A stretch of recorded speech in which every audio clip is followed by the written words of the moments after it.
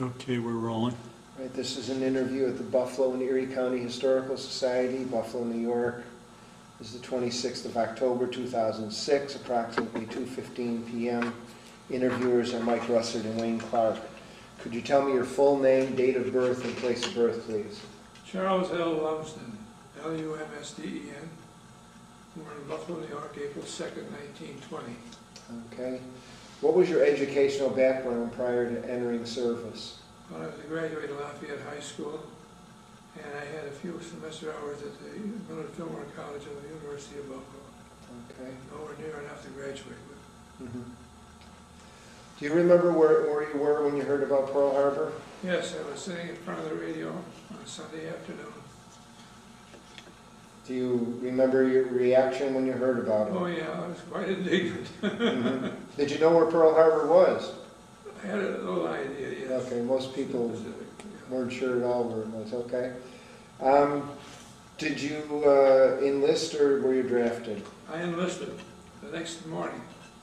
Okay, I tried to, but uh, the boot camp was full already, really? and uh, the East Coast, so they put me on standby.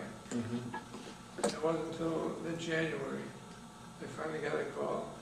I was being sent out to boot camp in San Diego, California, not the usual Parris Island where Mhm. East Coast boys went. Now, why, why did you pick the Marine Corps? I thought I'd get the best training, it was an opportunity to finish the war alive. Okay. Um, How long was your basic training? Ten weeks, Now, did you, uh, did you train out in the 1903 or the, the Garand? What did you use to train, your weapon that you used to oh, train the at? Springfield lot three. Oh, three, Yeah. okay. Oh, yeah. Did you have the old World War One helmets still? No, They, well, they had the new ones by we had new ones. Mm-hmm. We, um, we had to clean the old Cosmoline off those World War One rifles, which wasn't an easy job to do. Mm-hmm. I imagine. The easiest thing to do was throw gasoline on it and burn it off, but that was not allowed. We had to take it off the hard way. Probably blow the place up. D- When did you turn over to the M1? Do you remember? I remember? never had the M1. You never, even when you were out? When I finished boot camp, we were all paraded and they asked if we would like, any of us like to take, a- go into aviation. About six of the sixty guys stepped forth, including me, Mhm. because they always wanted to get into aviation. Had you ever flown? No, Why, why do you think you wanted to be in aviation then? I don't know, probably glamorous, uh, much Mhm. better. You know, I had an uncle who fought in the trenches in World War War Two, well, excuse me, World War One, my uncle George. And um, he described trenches, the life in the trenches in World War One, which is horrible. Mhm. He said the aviators, they they maybe died, if they did die, they died quickly.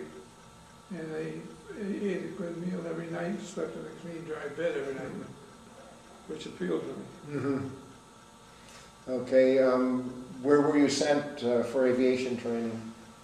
to the North Island Naval Air Station, right across the harbor from where the boot camp was. I could see the planes over there when I was in boot camp. Mhm. What type of aircraft did you train on? I never flew. I was, I went, uh, when I got there, I wanted to be a tail gunner, Mm-hmm. which was madness, but I didn't know better at that time. But there was only one school open, and it was Aviation Machinist Mate School in Chicago. Okay. I was a bank clerk, I was no mechanical aptitude whatsoever, but that's where I went. And I was uh, six months in Chicago, training to be an aviation machinist mate. And I had a ticket somewhere that said so, but I I misplaced it, I wish I could find it. What was the training like? Uh, did you work on engines or? Yeah, very little. Mhm. Uh, I was waiting, while I was at North Island, I was waiting to go to school. And, uh, to go to the aviation machinist mate school. And, uh, there was a whole yard full of old World War One World War Two airplanes there for us to play around with. Mhm. And it was very interesting, but I never touched a wrench when I left the school. That was normal in the war. you- Uh-huh. People go to training and they don't use it. How long were you in Chicago? Six months, summer of forty-two. Where did you go after, after that? back out to the west coast. And I had a good buddy, he and I were assigned to uh, meet the train with boys from the east, take them uh, hand, get what we called the seven eighty-two gear, which was their helmet, their belt, their beta. Put them on a ship and send them overseas. After about a month of that, we decided we didn't want to stay stateside, we were going back overseas, going overseas rather. And that's what we were signed up to do. So we uh, told the authority and we were whistled into a- a hangar with the, every, the next overseas contingent. And we uh, were a ship the next day.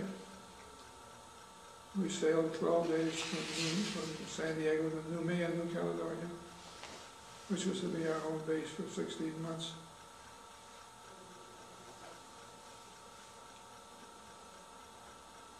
What were your duties there? Well, originally I was what they call a bull gang, that is whatever heavy work jobs had to be done, build roads, load planes, steal gravel from the army, so for our roads. And that's what I did. And I had a fateful day, want me to tell you about this? Sure. Yes? I found out that they were gonna train the air navigators because they didn't have enough navigators. You'll find a little bit about this in there. We, um, my outfit that I was joined up with, Marine Aircraft Group twenty-five, was sent there because the Navy lost, the Navy withdrew from the Solomon Islands and left the First Marine Division high and dry at Guadalcanal. The Corps responded by organizing MAG 25, and they had 12 uh, DC-3s island hopped across the Pacific to New Caledonia, set up camp, and began ferrying and bedding needed supplies to the First Marine Division. Food, bedding, medicine, doctors, gasoline drums, toilet paper, bedding. There were some hectic times. Now, they didn't have any navigators, they had a few enough pilots, the pilots had to do navigating, and this is which wasn't working out well. Because I had a little college and had a mathematical background, I was a clerk at the Federal Reserve Bank. They, um, accepted me, I had a good IQ too, one thirty-seven, I think, was pretty good. So I was one of the thirteen guys selected to go to that navigation school that they set up. One of the pilots had been uh, graduated out of the Weems School of Air Navigation at Annapolis, Maryland. And he was in control, in charge. And so we went to nav school, Now, where was that school located? right in a couple of tents at the, on the base of Tontouta, where, where our camp was. Okay. How, how long did your training last? About uh, eight weeks. Then we flew piggyback with the other navigator until we got checked out. And then we were on our own. Okay, What rank were you at that point? Pardon me? What rank were you? Oh, I was a corporal. And uh, they gave me a rank every month for the four months later. I was a master sergeant. In the peacetime Marine Corps, you'd be lucky to make corporal in ten years. Mm-hmm.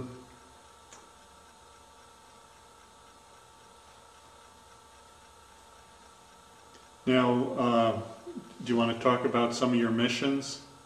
Well, our mission was uh, very simple. We, uh, we would either load up in New Caledonia or fly up to Espiritu Santos, which was the big supply depot, and load up there. We leave Espiritu Santos about uh, two in the morning, two thirty. Time to arrive at Guadalcanal at sunrise. Uh, we make a quick landing and get unloaded and get the hell out of there. Mm-hmm. Our return cargo in the early days were wounded, uh, also get them back down where they can get better hospital care. Mm-hmm.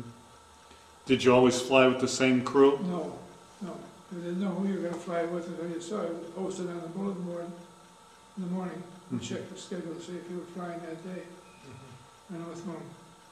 Now, did you have air cover at all? No, very rarely. Mm-hmm. In fact, we, we would, what they needed up there was fighter planes, and it was too long a haul from Espiritu Santos to Guadalcanal, four hours for those guys to fly without a navigator, so they would, mm-hmm. We would have uh, maybe five or six fighter planes or bombers along with us to get them there. They just followed us, uh, and very closely. Were you ever attacked by Japanese aircraft? No, we had, a- our squadron motto was Securite en nuage, which in French means in clouds we trust. We would hide in the clouds in in, uh, Henderson Field, which is the main field in Mhm. Rockville, was getting beaten up or patched up. Did you ever have trouble landing there because they were under fire quite often Oh, the yeah, field? they did, but they, uh, we got out of there. And we, they, somehow the Japanese weren't early morning rises, I think, they, the time most of our arrivals were about seven in the morning. And uh, we couldn't gas up because the gas was very precious up there, for the fighters and the dive bombers.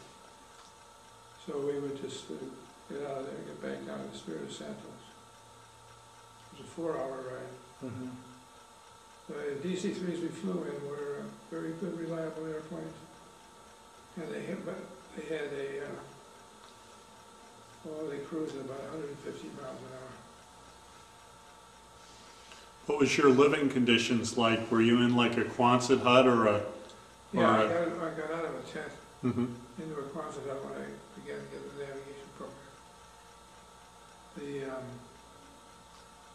they asked about a little humor there, I commented you'll find it. We had a terrible wind up there one night, and the uh, tents all blew away, most of them anyway. And here are a whole bunch of Marines running around at night in the dark trying to find their belongings in their tent. Now, did you ever suffer from any tropical diseases I like, what they call cat fever for about three or four days. what was that, cat fever? Call it cat fever.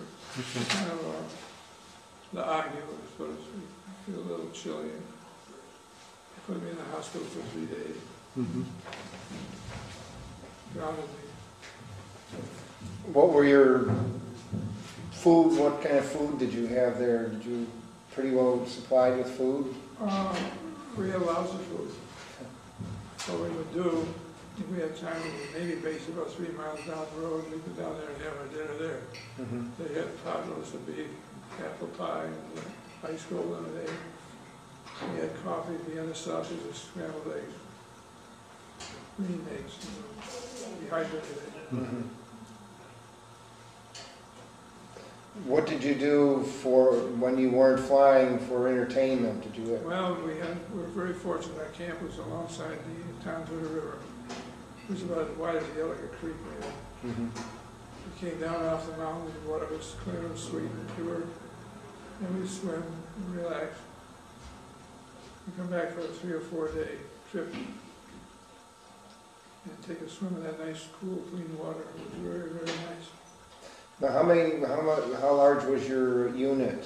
How many, what was the size of the personnel? Well, I'm not sure about the count. I think at that peak they probably had two thousand. We had uh, a service squadron, a, um, uh, um, three operating squadrons, one of which was an army squadron. I was in Tank twenty-five, two fifty, excuse me, I was in two fifty-three, The Japanese, Japanese ever attack your base? No, we had foxholes, and we were all ready for them, they never came. Hmm. I wonder about that myself. Yeah. Because they came to Espiritu Santos, and of course they hit Guadalcanal virtually every night for a long time. They had a, a two, uh, engine bomber called the Betty. And they sent one of them over at night to get us out of bed, because when the radar picked up that we were gonna have a hostile Mhm. violation, man, condition red, we all had to get out of bed and get in a foxhole. They called a washing machine Charlie. The washing machine Charlie had a weird engine sound, you could pick them up, Mhm. you know they weren't ours, when you heard them. Did you, the uh, Washing machine Charlie. right? Oh, yes. yeah, Everybody that was on Guadalcanal knew what was Refuge Charlie. And there was Pistol Pete over the mountains with the, with the cannon. Did you uh, get to see any USO shows or any entertainers at all? Like Bob Hope or? Uh, Oh, he has been on there. Uh, I can't think of his name. He was married to half a dozen movie stars. Um, He was he was a band leader. He was a- Oh, was it Ava Gardner. Har- Harry James? No. Married to Ava Gardner, he's married to, uh, some of those, Who'd she marry? the band leader, Artie Shaw. Artie Shaw, yes. I think they were. Yeah. Well, Um, after Guadalcanal was secured, what were your duties? Well, uh, we, I got home just after it was secured, and uh, we uh, started moving to Bougainville. And I never got to Bougainville, I was sent home in November, and Bougainville really started to roll in Mhm. November. But I did get one trip up north to a place called Ondonga, which is a small island near Bougainville, which they captured and used as a staging spot for the attack on Bougainville. Now, why were you sent home early? Was, I was sent home because I had four hundred hours, oh, okay. and I've been out there for fourteen months, I've flown over a hundred sorties, Mhm. and they, uh, I was- came up with the numbers. Did uh, they send you to a base stateside or were you Oh, yeah, discharged? So we flew, acro- you know, we, Gloria and I have flown from Sydney, Australia to uh, San Francisco, nonstop, Los Angeles, wasn't it? nonstop. It took us, we flew from New Caledonia to the Espiritu Santos, to Fiji, to Samoa, to Canton, to Palmyra, and finally to uh, Ewa, the big green base on Hawaii. Mhm. Took a week, fly to the city. Then I got a- a ship back to the United States after that. Now, what were your assignments in the States? Well, I was assigned to, we decided to have a navigation school stateside, Mm-hmm. and the guys from our outfit, as they got home, were assigned to the nav school. So I was assigned to the navigation school, and uh, I found that I was recommended for a commission, as were the, all the other, the the other thirteen guys, or twelve, including me. I flunked the physical. I had hypertension, I never knew that. So anyway, um, it was very hard for me to see these guys, some of whom I helped get through the nav school, uh, starting around the second lieutenant bar, and I Mm-hmm. but what did happen was, I was, they kept me stateside, maybe non-commissioned officer in charge of the navigation school. And that's where I finished the war. Do you remember where you were and your reaction when you heard about President Roosevelt's death? No, I don't remember that. Okay. How about the dropping of the atomic bombs? Do you... Oh, we heard about that. Mhm. We were all very happy. That was terrible on the Japanese, but most of us were aware of the fact that they were they were going to invade the homeland, and they were going to. The navigation school was going to be shut down, and every marine body available would be used, but they were really expecting heavy heavy casualty. Mhm. and hires a million men. Yeah. A lot of guys running around this country today whose father would have been, never made it. Mhm. And some of them are the guys that are complaining about the atro- atrocious atomic bomb, you know. But you gotta weigh it in the balance. Mhm. Do you have any other stories you want to mention that you recall that happened to you? Well, we made some good friends. Mhm. I've lost all of them. I've outlived them all. Were there any that you stayed in contact with after Oh, the war? Yes, indeed. We had a reunion every year for years. Mhm. And uh, we went to many of them, And the Buffalo couple, a fellow that I met overseas, in fact, Bob Begane. Uh, I heard somebody talking about Utica Street. So I stuck my head in the tent, and said, who the hell is talking about Utica Street? Other than Bob Begane, we became very good friends. I was their best man when they got married, in fact. We were stationed up in Corvallis, Oregon, for six months. Mhm. when we moved to school. The Corvallis was an idyllic place to be, but the weather was too bad to fly the planes constantly, a lot of rain. So they moved it down to El Centro, California, where it never rains. Spent the last year we were in El Centro, hundred and ten at midnight, something like that. Did you ever use the GI Bill?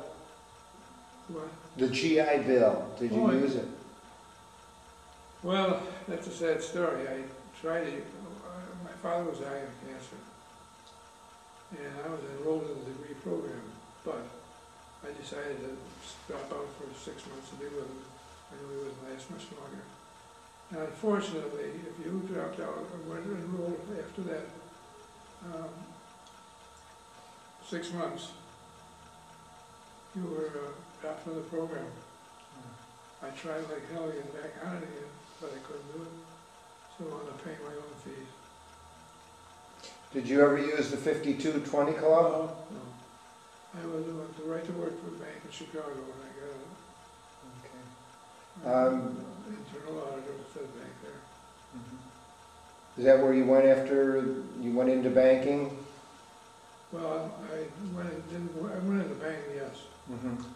but I was only work, going back to work for the Federal Reserve Bank that I worked for in Buffalo, but the Fed system is such that the banks are not related. Mhm.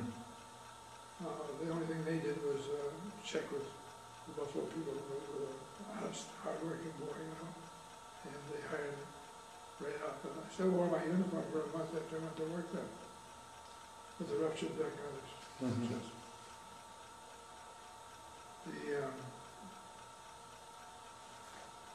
and I decided to go back to Buffalo, which was a fortuitous thing, because, uh, I enrolled in the degree program at UB, I got a good job here, paid much better than the bank did. And, uh, got, a good, good accounting experience, so I decided when they moved from, the firm I was working for, moved from Buffalo to Canandaigua, I didn't wanna go, I wanted to stay close to UB. And I had doing a little part-time accounting work on my own. So with a very thin number of clients, I rented an office at the uh, Rand Building for sixty-two bucks a month. First month I only took in fifty, but I enjoyed being on my own very much. And things moved along very well. Today, this firm that I retired from has uh, ninety people working for it. Wow. Did you join any veterans organizations? So, Never no, I did. never did. Well, I belonged to the 48 club for a year. That was only a knife and fork group that really didn't do anything else. So I didn't my membership. How do you think your time in the service changed or had an effect on your life? greatly. In what ways? Well, when you go through boot camp, you figure you're as good as any man and better than most. It's a real, real ordeal.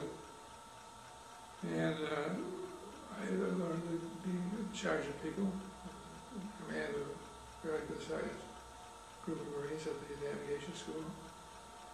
And uh, we were kind of loose, but uh, we uh, did a good job. And it taught me leadership, and it taught me respect for authority. And I think that probably the most biggest disappointment of my life was not getting that commission. I wanted that badly. I was still trying to get it when the war ended, I finally got it back. And I ran to my old colonel. He said, Lumsden, how come you weren't promoted with this other guy? I said, oh, I flunked the physical. So he called up the base doctor, send him over, I'll put him to bed, we'll take his blood pressure in the morning. It was perfectly normal. And, but, uh, the paperwork never caught up with Uh, there's this little rationalization about that situation. We lost my brother in World War II, who was killed as a pilot, killed on D-Day, flying troops, paratroopers. Oh, a DC three then also? Yeah. And, uh, I was the only other boy in the service. My other brother, the third brother, was only eight or nine years old. So, uh, if I had been lost, uh, there would have been complete wipeout for me. So looking at it that way, so a lot of the guys that went back out the second time are still out there.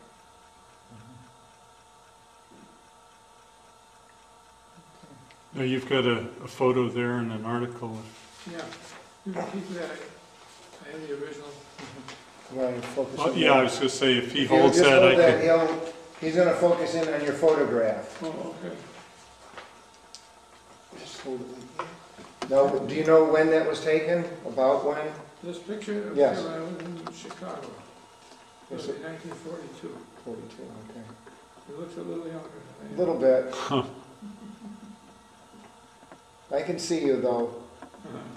I- is there a story behind that, the night we almost splashed the general? Oh, yeah, you wanna read it? Well, can you briefly just tell us about it? I'll read it to you, tell you if it make more sense. Takes me a couple extra minutes. It's up to you if you want to. I'll read it. Okay. Okay. During World War II, I served as a aerial navigator with Marine Air Crew 25, also known as South Pacific Combat Air Transport, bracket, SCAT, SCAT. After the initial landings on Guadalcanal in August 1942, the First Marine Division became stranded. When after the disastrous Battle of Savo Island, the Navy deemed it necessary to make a strategic withdrawal of the supporting supply and combat, combat ships. This action left the Japanese in control of the sea and the Marines high and dry. The Corps responded immediately, organizing 1945, and by mid-October of 1942, the first Admirals left San Diego in the form of 12 specially fitted Douglas C. transports, known naval aviation as Artillery D-1s. These planes island hop across the Pacific to town through the New Caledonia, some 900 miles southwest of Guadalcanal, using the airfield as the base of the lifting at the Henderson Field and Guadalcanal, which desperately needed supplies of aviation gas, toilet paper, food, ammunition, bedding, medical supplies, key personnel. On a return trip, usually evacuating the worst cases of disease, wounds, and combat fatigue. It was often necessary for unarmed, unarmed, unescorted transport planes to lurk in clouds nearby while Henderson was being either beat up or patched up. So eventually a group motto we followed. Clouds we trust. General Vandegrift, USMC, overall commander on Guadalcanal during the hectic days, commented during the post-war meeting with our former commanding officer, without you fellows, we couldn't have done it, end of quote. Finally, at the battle for the Solomons, Southern Solomons was successful in sea control We established SCAT operation found South acting as a glorified airline for the Southwest Pacific combat area. In October 1943, I was assigned to a crew order to the Royal New Zealand Air Force Base at Whenuapai, some 20 miles from Auckland, where we to stand by for further orders. My instructions were to touch base with the plane Japanese one to let our Auckland hotel know where I was at all times. I was dining one evening at the Devonport Hotel as a guest of the of Randy establishment. And I received a phone call ordering me back to our hotel immediately. We were leaving. It was nearly midnight when we finally arrived at our Royal New Zealand Air Force base at Whenuapai. With a full gale in progress. Rain beat in the hangars, the building, visibility was practically zero. All in all, it was foul as you can imagine. I probably thought no one in his right mind would send a plane out on a night like this, when literally the birds were walking. However, being a Marine, I should have known better. We checked out my navigation gear from operations out and went to the ready room, where we got the first of several shocks. Assembly, assembled with a large group of Marine Corps brass, including a Major General, than I'd ever seen in one room until that time. Our pilot, Captain Thomas, advised me that our destination was to be soon in the Fiji Islands, some eleven hundred miles almost due north. It wasn't until some time later, they found that our duty was to fly Major General Julian Smith. U.S. Marine Corps.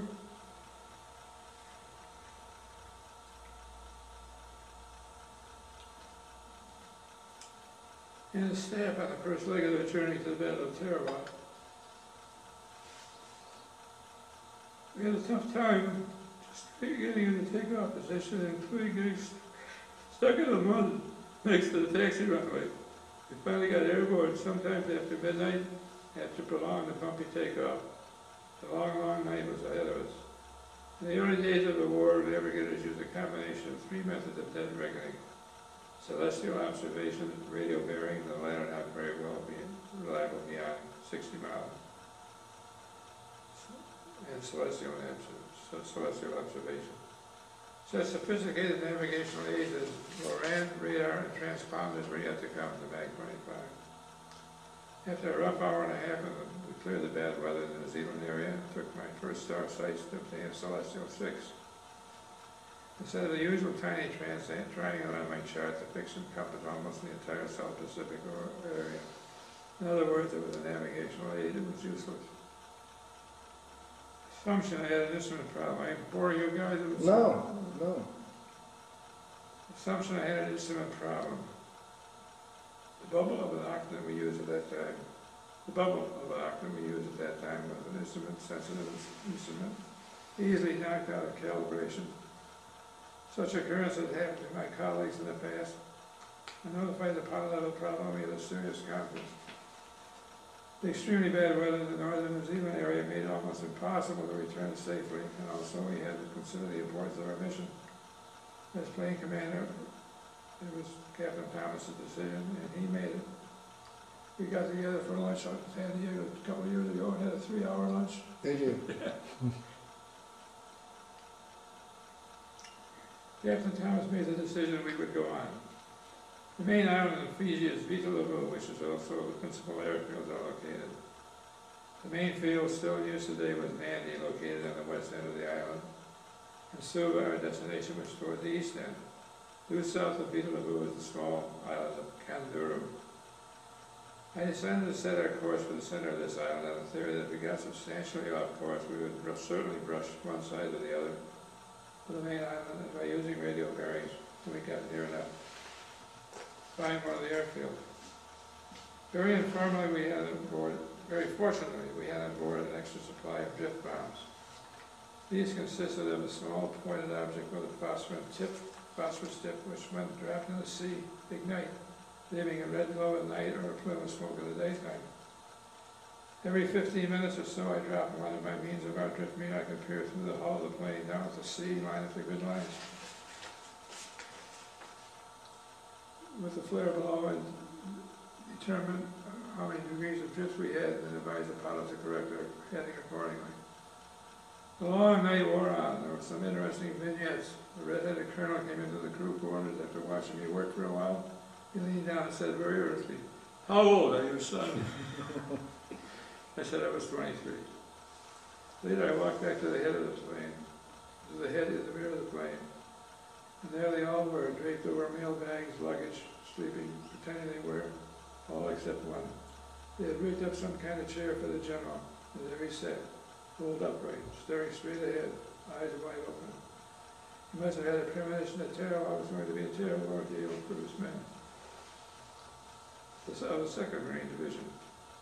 When daybreak came, I determined we should be near enough to try crossing radio bearings from Suva and Nandi. Doing so, I found we were pretty well on course and was feeling somewhat pleased with myself when I heard a excited yell from the cockpit. There dead ahead, lying in the sea, looking like Valhalla itself in the morning sunshine, with my little island of Kadavu.